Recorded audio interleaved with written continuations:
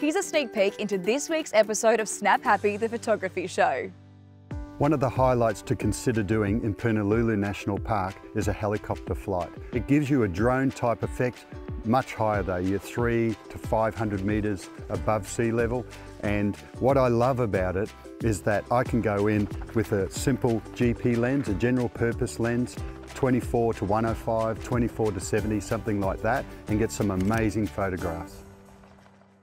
I love rugged seascape shots with all the rocks and the water that can flow through it. It really makes a really interesting image, so this is the perfect spot for that. Safety is the number one thing when it comes to especially seascapes. You really have to be careful of the weather and the waves and the tides. So I always check the tide before coming out on the shoot, make sure it's right for the right location. And whenever you get to the location as well, I always sit and look at the waves for maybe five or 10 minutes just to make sure that you don't get some rogue wave coming up or you know, something that could sweep you away because safety definitely is number one. Horses Head is an iconic location for photographers on the New South Wales south coast. And every time I come, it's a little bit different because of the amount of sand on the beach, the tide, and the amount of swell.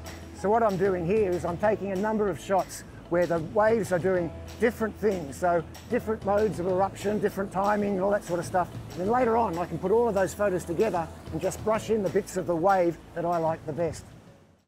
I'm travelling through the East Kimberley and for the first time I've got the Lumix S5 in my hands. It's a full frame sensor camera, very compact and what I love about the camera itself is its simplicity and its layout and how I can handle it and use it to take great images. Let's go further and look into this great camera. If you'd like to join our community, head on over to snaphappytv.com. There you'll find full episodes from the archives, exclusive content, and of course, special offers from our partners.